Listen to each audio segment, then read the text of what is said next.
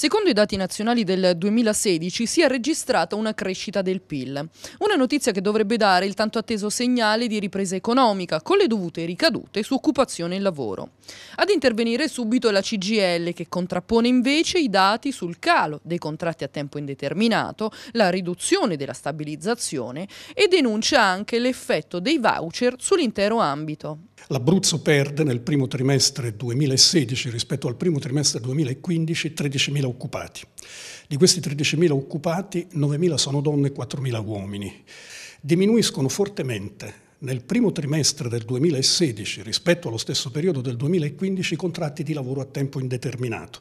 Questo cosa dimostra? Dimostra che esauriti gli incentivi corposi dati alle imprese nel 2015, esauriti o dimezzati quegli incentivi diminuiscono drasticamente i contratti di lavoro a tempo indeterminato.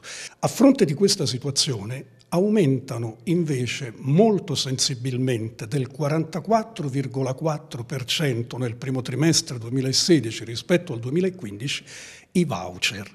Questo dimostra che il lavoro precario è ancora molto diffuso, di cui il voucher è l'esemplificazione. Se a causare tanta instabilità, oltre a quella dei mercati, sono state le politiche introdotte sulla contrattualizzazione dei lavoratori, la CGL ha portato avanti una raccolta firme che ha raggiunto i cittadini su tutto il territorio, ottenendo una grande partecipazione. C'è stata una grande partecipazione dei cittadini e dei lavoratori e ciò indica che, eh, che le persone vogliono maggiori diritti nel, nel lavoro. La CGL d'altronde ha, ha, anche proposto, con una proposta di iniziativa popolare che verrà presentata a settembre, la riscrittura nuovo, di un nuovo statuto dei lavoratori che dà più diritti alle partite IVA, ai precari ai giovani.